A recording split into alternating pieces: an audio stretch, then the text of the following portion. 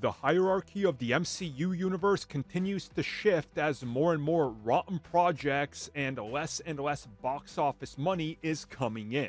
But it's not all bad considering that they're still beating much of the competition.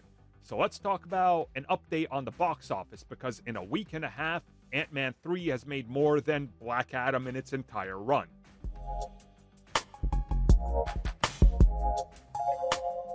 If you could go back in time and tell Marvel Studios that, hey guys, you see how much money you're making with Iron Man right now and see how the Incredible Hulk has bombed, don't worry. In slightly over a decade, Ant Man 3 is going to make $400 million in less than two weeks. You would probably be thrown out of the office as fast as possible because nobody would believe you. But hey, that's where we're at. So, yeah, Ant Man and the Wasp has officially passed $400 million and it's on its way to um, unknown numbers. Nobody can seem to guess where this thing is going to go, especially after that uh, huge second weekend fall. So we'll see what happens.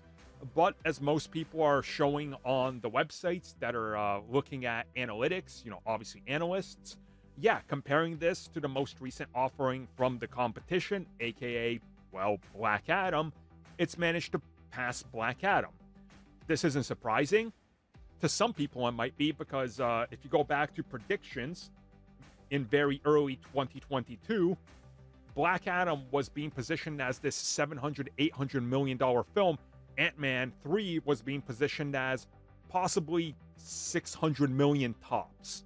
So again this is just telling you that analytics are never really uh, gonna go the way you expect unless it's a guaranteed hit and not even Ant Man 3 was a guaranteed hit despite having two successful prequels. So we'll see what happens in the long range forecast and what happens in the end. But this is just one of those things where I think uh, the investment in Marvel Studios that's still there, obviously, has fallen, but it's not as bad as some people think.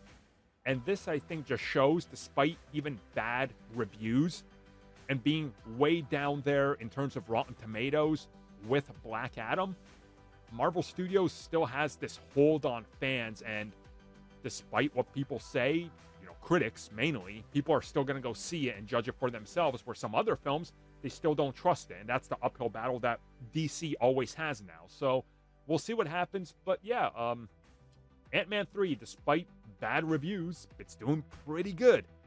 Could be doing way better. Yeah, but hey, it is what it is, I suppose.